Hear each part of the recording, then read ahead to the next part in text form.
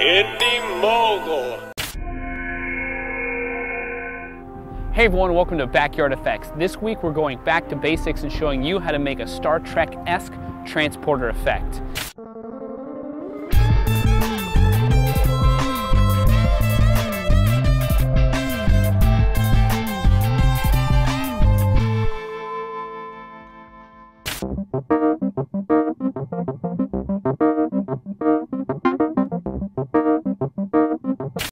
All of you probably know that there's a new Star Trek movie coming out with fancy special effects and Eric Bana. Well, here at Indy Mogul, we thought we would take a step back and recreate some more retro special effects. Also, let's not forget you, the Indy Mogul community. This transporter effect was requested by Fighter Fat 11, Cityscape Pictures, Movie Magic Man, Crazy Productions, and CIJN Productions. We're actually going to show you two different ways to create this effect, but first we need to know our budget.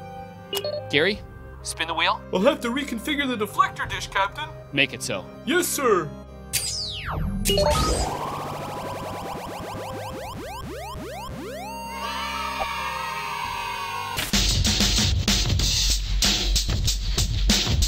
A small fish tank, some gold and silver glitter, a clamp light, and some black fabric. What happens when you put together one band and one filmmaker to create an original music video for $99? Watch world premiere videos every week at $99musicvideos.com. $99 Music Videos is best experienced with Verizon Fios Internet. My name's Harry, and I see movies everywhere. You're watching Indy Mogul.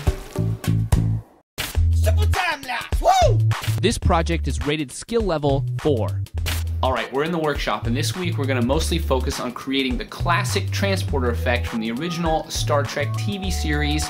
Now, this effect is delightfully campy and rooted in practical special effects. Which means a lot of you are probably thinking, why don't I just go straight to the computer, do this all digitally with uh, After Effects or Apple Motion? And you absolutely can, and honestly, it might be a little bit faster. But if you don't have any of those fancy computer programs or you just want to get your hands dirty and do this retro style, then BFX is here to help. The practical part of this effect is pretty simple. First, set up a couple of boxes and cover them with some black fabric. Next, set your fish tank on these boxes, but make sure and leave a gap at the bottom for a light to shine through. Now you can hang the rest of your black fabric behind the tank and set up your clamp light underneath. Fill the tank with water and set up your camera on a tripod. Now dump a ton of glitter inside. Turn off all the lights except for your one clamp light, turn on the camera, and stir like crazy. Congratulations, you have just created a custom particle effect. Now it's time to add some computer magic. Once you've got your footage into your editing software, the first thing you want to do is add a luma key. Then you can color correct, rotate, mess with the speed, or whatever else you want to do to tweak the particles. To add this effect to the actual transporter scene, you'll need to isolate your character in Photoshop. With your subject separated from your background, you can manipulate and add the energy effect to only your character. With some more tweaking, a lot of cross dissolves, and a cool sound effect, you just recreated a classic sci fi effect. As promised, here's another quick way to create the transporter effect without getting glitter under your nails. Step 1. Set up your camera on a tripod and film your actor getting ready to be transported. Step 2. Have your actor walk off camera and film about 15 seconds of an open frame. Step 3. Go to IndyMogul.com and download our one size fits all version of the energy effect. Step 4. Take your two clips, put them in your editing software, and use a cross dissolve to make your actor fade away. Then place your energy effect on top of that, and you're good to go.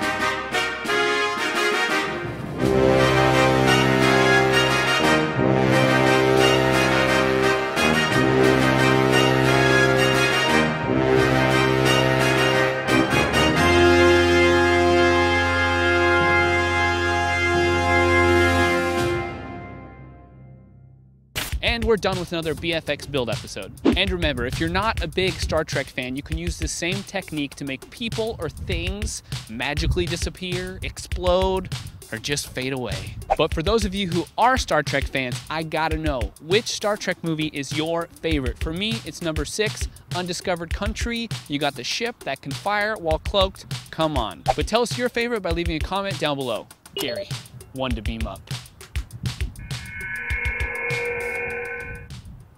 If you're gonna fill a fish tank with glitter and water, you should be very careful when um, disposing of it because, yeah, it gets all over the place.